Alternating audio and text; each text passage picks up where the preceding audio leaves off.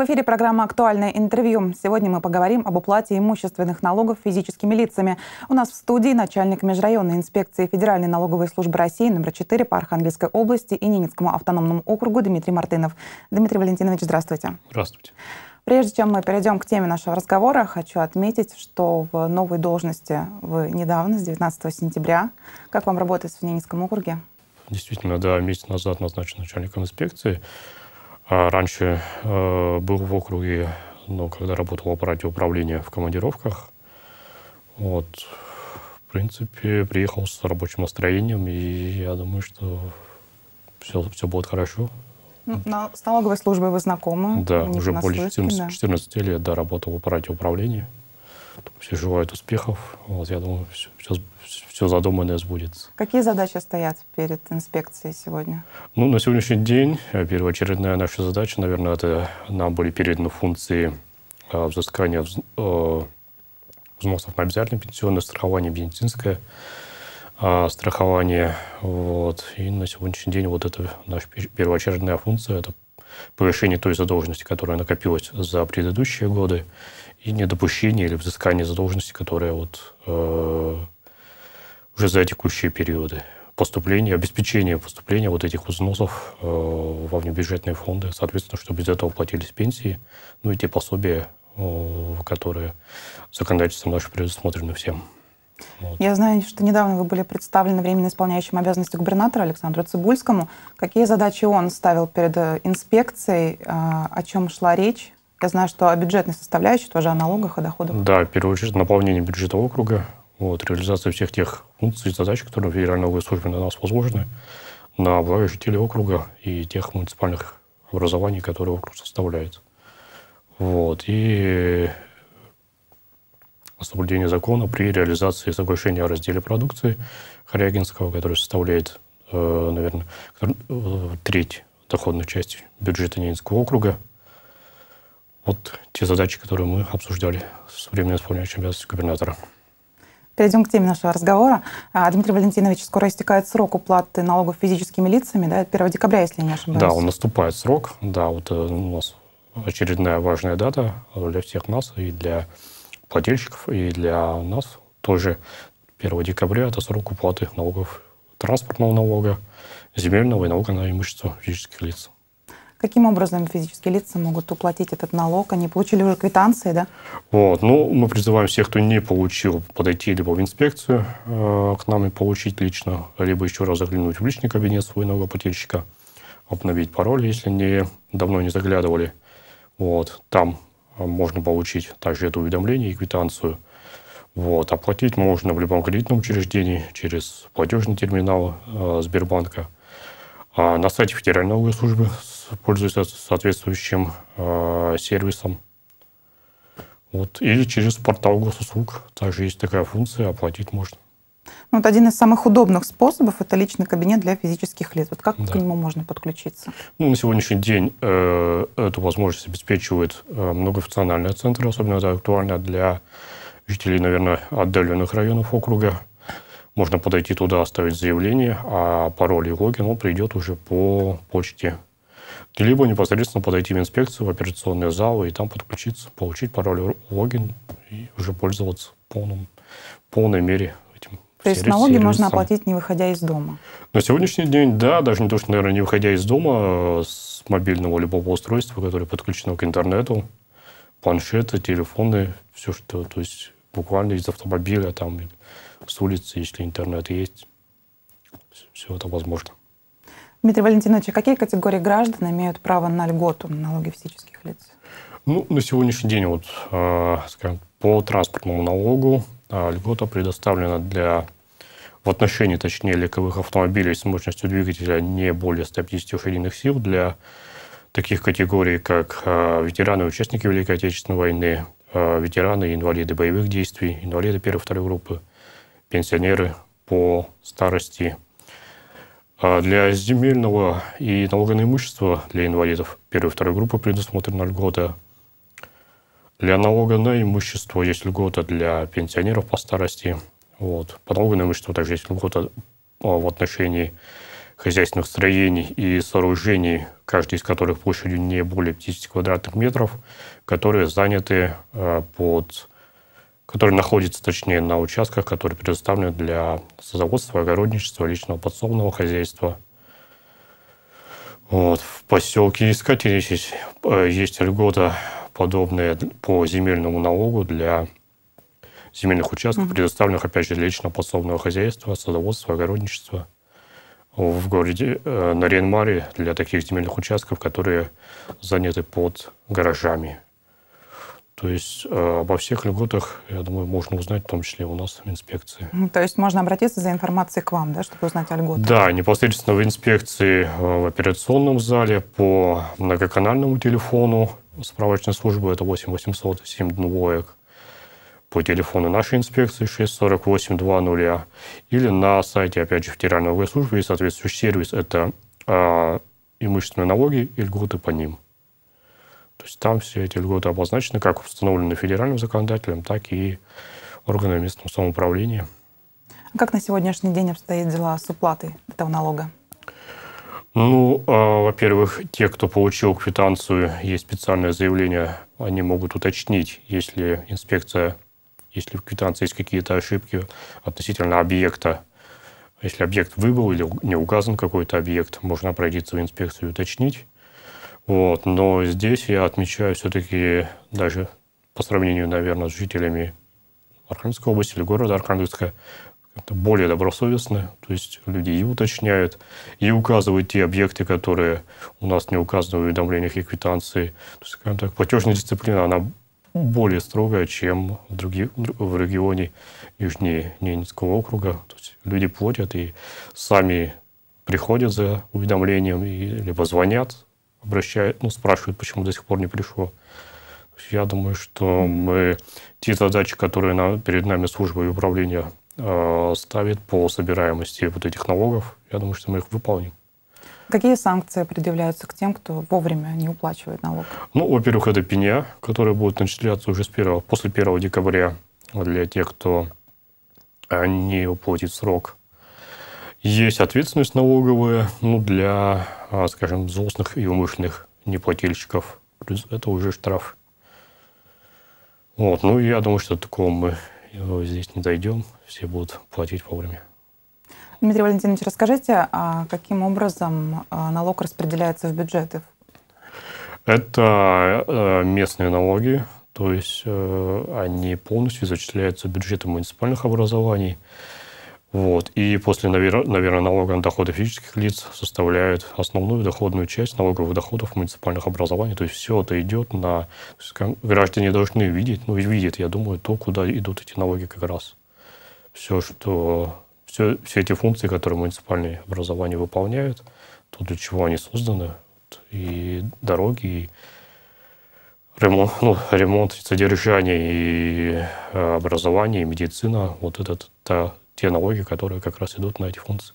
То есть наши муниципалитеты заинтересованы в том, чтобы граждане да. платили налог, да, можно как-то даже стимулировать их к этому. Да, да, да, да. Но мы в постоянном контакте с муниципальными образованиями, вот, в части и вручения уведомлений, и подключения к личному кабинету, и информирования о льготах, о ставках, о сроках уплаты. Вот,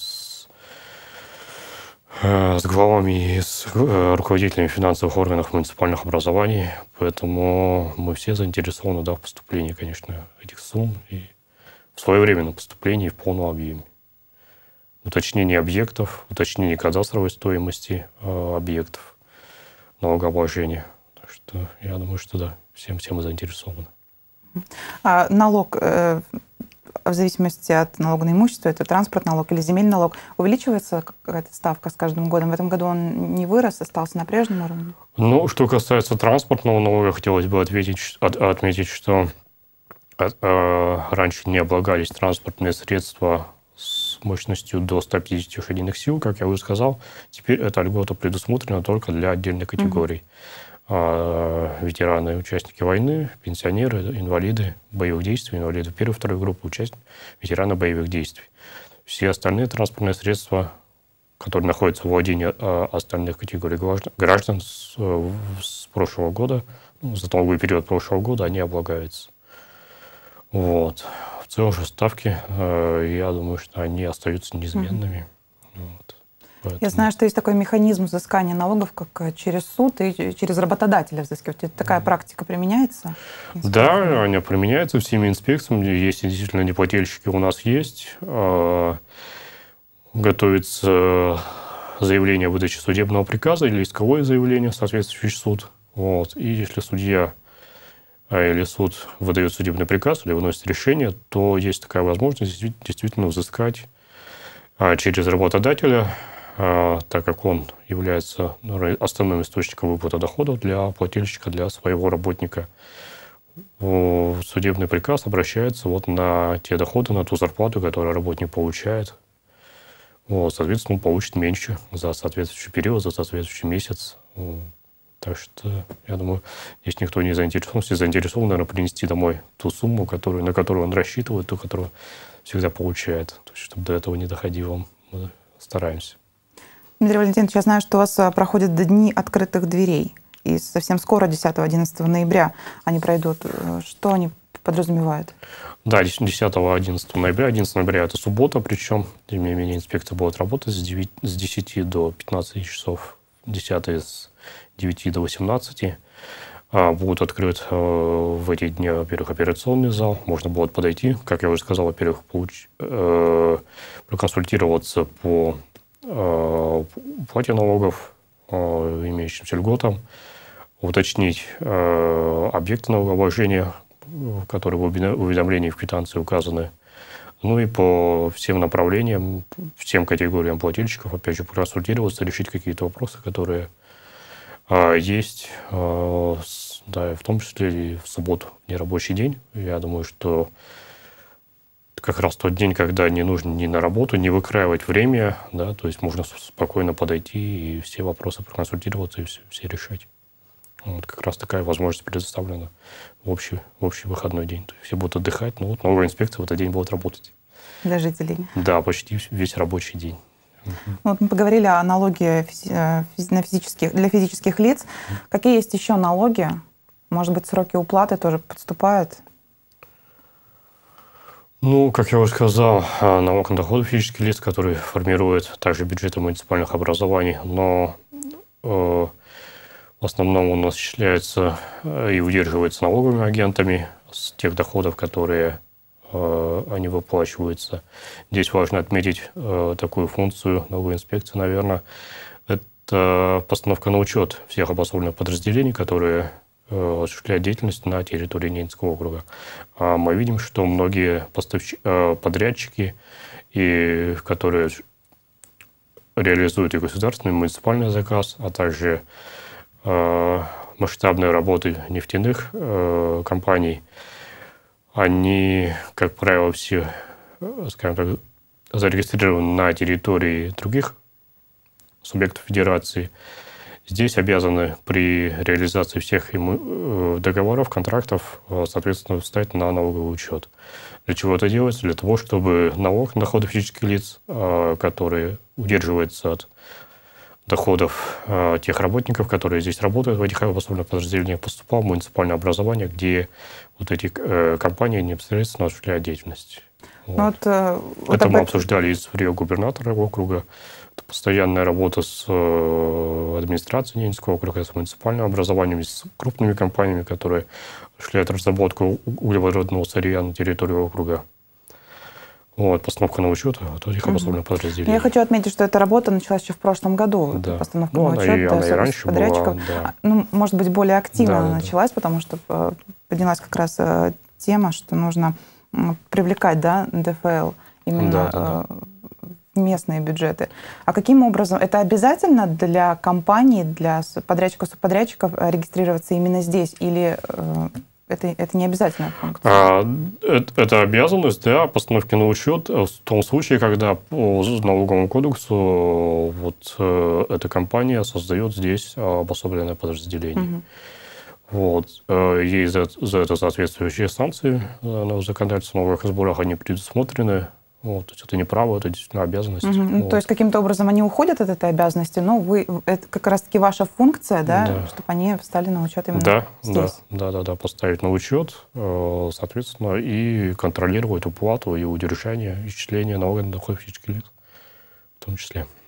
Но это самый большой доход, один из самых больших доходов в бюджет Ненецкого округа, это как раз-таки НДФЛ. Ну, бюджет муниципальных образований, точнее, э, бюджет Ненецкого округа, это, наверное, налог на имущество организаций. Угу. Вот, это региональный налог, его платят э, организации, уже не физические лица. Вот. И вот третий, как я уже сказал, угу. бюджет НАУ, это доходы от реализации СРП на Харягинском месторождении. Угу. По налогу на имущество. Угу. А как обстоят э, дела с уплатой налогов юридическими лицами? Ну, мы контролируем эту ситуацию. Э, на сегодняшний день так действительно есть и пеня, и санкции за неуплату э, этих налогов. По налогу на имущество организации действительно э, существует э, в регионе существует льгота, в том числе в отношении э, движимого имущества, вновь введенного в эксплуатацию. Здесь важно отметить, что ряд организаций, на наш взгляд, не всегда, не всегда может быть правильно относят то или иное имущество к той или иной категории, движимому или недвижимому.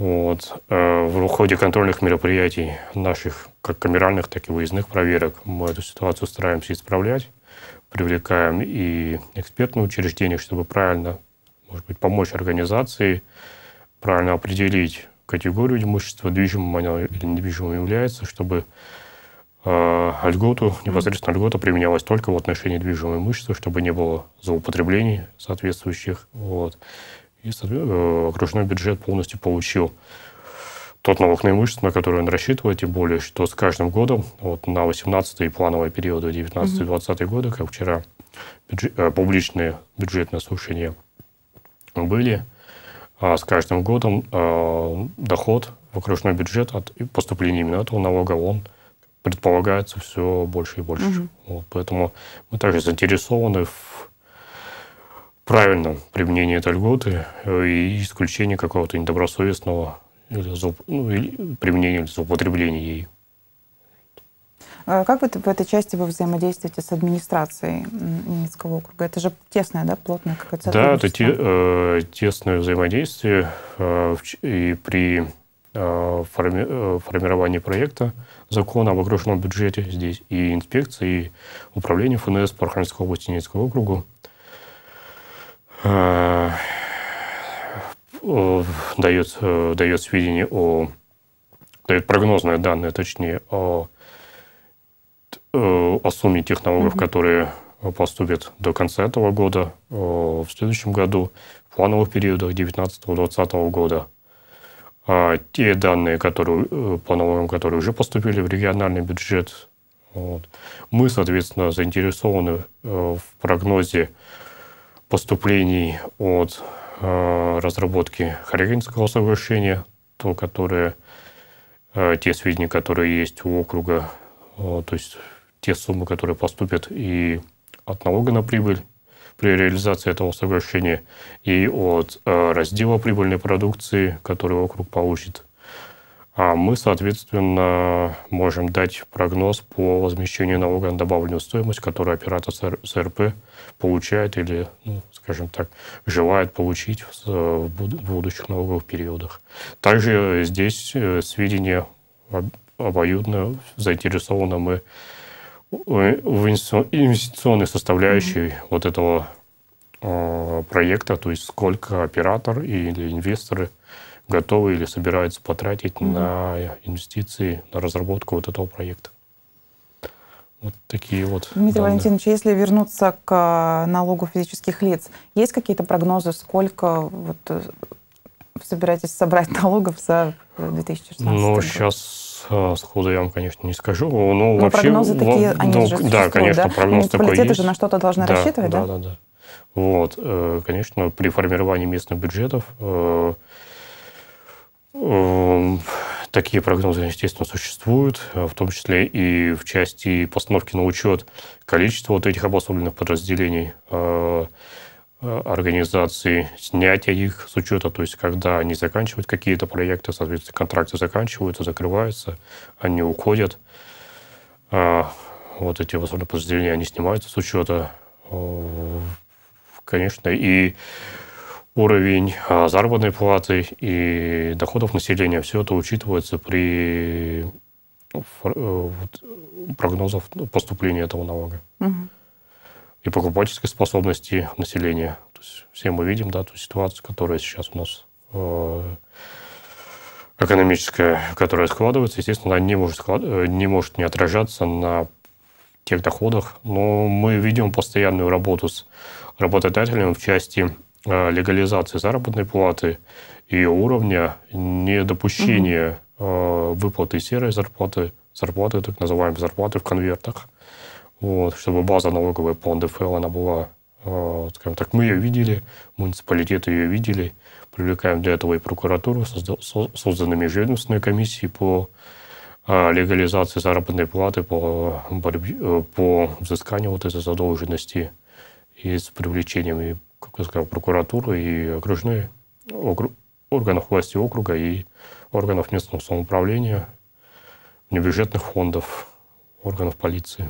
А что касается вот э, серой заработной платы, это актуальная тема? Есть, еще есть такие работодатели, которые э, дают зарплату в конвертах? Ну, я думаю, что они были, есть и будут, наверное. Вот. Э, всегда есть те, кто злоупотребляют э, теми правами, которые законодательство mm-hmm. нам предоставляет. Но нужно сказать, что в округе, конечно, уровень гораздо меньше, mm-hmm. чем э, в, регион, в Архангельской области, в городе Архангельске. То есть здесь все-таки, я думаю, э, как я уже сказал, да, люди э, и работодатель, он более добросовестный. Да и те комиссии, которые работают, они уже дисциплину, я думаю, уже поддерживают. Угу. Вот, наверное, можно так сказать. А смотрите, а если ситуация если это не серая зарплата, а если mm. это маленькая зарплата, вы как-то каким-то образом же тоже это отслеживаете? Mm. Понятно же, что не может быть зарплата у человека там, минимальная какая-то 7 тысяч, там, 800 рублей, допустим.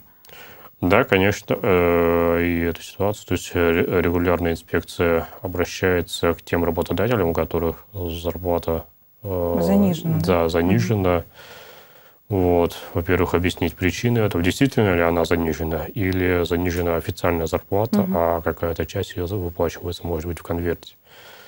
Вот, ну, как правило, все э, работодатели, да, идут на встречу, то есть объясняют и причины этого, то есть э, есть и перспективы поднять зарплату, и, э, потом есть разные ситуации, когда Здесь, во-первых, очень развита сезонный, наверное, угу. характер работы, учитывая те работы и э, ту специфику округа, и климатическую, и те действительно работы, которые здесь проводятся при разработке полезных ископаемых.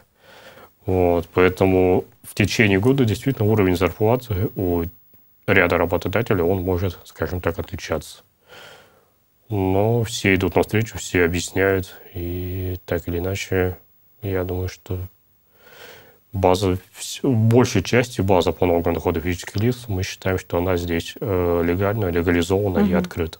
Угу.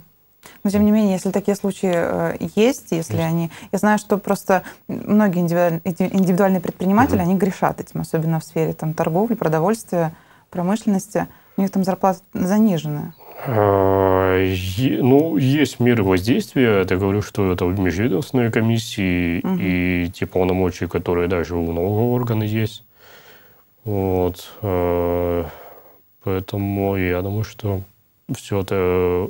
Мы понимаем ту ситуацию, которая складывается, конечно, как мы уже сказали, я уже сказал, с покупательской способностью, конечно, действительно и выручка э, в розничной сети, она, конечно, падает. Это не может не складываться на зарплате тех, кто mm-hmm. работает.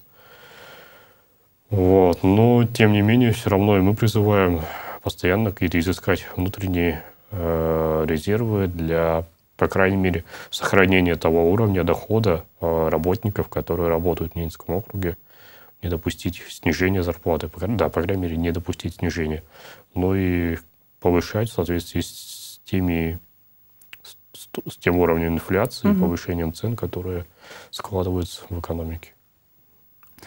Дмитрий Валентинович, давайте вернемся еще раз к уплате имущественного налога физических лиц.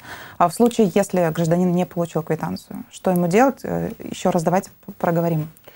Да, во-первых, можно подойти просто в инспекцию и получить э, уведомление, единое налоговое уведомление, квитанцию и заявление об уточнении информации об объектах. А, либо э, в личном кабинете э, получить эти документы. Если же э, до сих пор в личном кабинете не подключен, подключиться к личному кабинету все-таки. Вот. Как, мы уже, как я уже говорил, все-таки об удобствах этого сервиса. Э, можно видеть и объекты налогообложения, и те суммы налога, которые к уплате подлежат за соответствующий период к соответствующему сроку. И через него же, опять же, уточнить э, информацию и об объектах налогообложения. Mm-hmm. Вот, подключиться можно через МФЦ, либо непосредственно в инспекции прийти, получить логин, пароль и уже пользоваться mm-hmm. в дальнейшем. До 1 декабря это важно? Да, до 1 декабря мы еще раз призываем всех все-таки уплатить, чтобы э, не, нам не пришлось начислять пени, вот, привлекать к ответственности. Или взыскивать через э, суд, через мировые судьи. То есть это, опять же, э, затраты инспекции на ну и, и временные, и финансовые, угу. и затраты судебных органов. Вот. Э, в то же время э, от правосудия отнимаем от тех серьезных дел, которые судьи могли бы рассматривать, вот, не допуская этого, платить самим э, через те возможности, на которых мы уже останавливались. Дмитрий Валентинович, спасибо, что пришли к нам сегодня в студию. Желаю вам хороших, хорошей уплаты налогов. Спасибо. Спасибо. Это спасибо было вам. актуальное интервью. Увидимся.